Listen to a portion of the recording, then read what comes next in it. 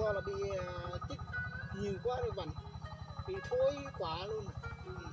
thành ra là hôm nay mình sẽ phun ờ, ba loại phân chất để mà phân chất thứ nhất là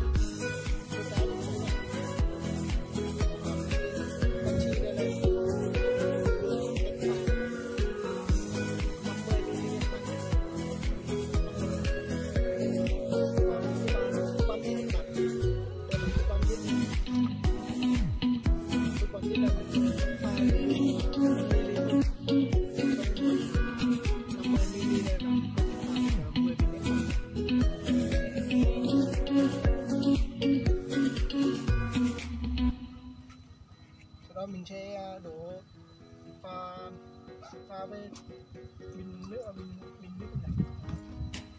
Trong bình uh,